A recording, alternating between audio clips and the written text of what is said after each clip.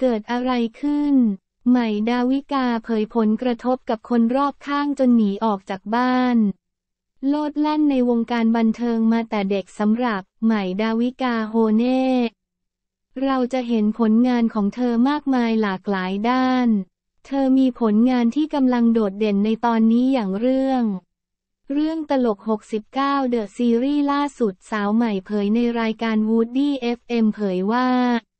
ช่วงถ่ายทำถ่าย3เดือนเข้าเดือนที่2เริ่มมีผลกระทบกับคนรอบข้างแล้ว มีทะเลาะกับพี่กล้าว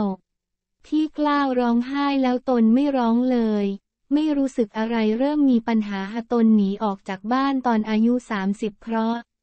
ไม่สนอะไรแล้วอาจเริ่มต้นจากตนเลย มีผลกระทบไปหมด เกิดเรื่องขึ้นต่างๆ รู้ว่าไม่ควรเป็นตุ้มขนาดนั้น แต่ปล่อยไม่ได้ ถ้ายังไม่ปิดกล้อง พอปิดกล้องก็หาจิตแพทย์ หาการรักตัวเองเข้าคลาสทำใหม่เลย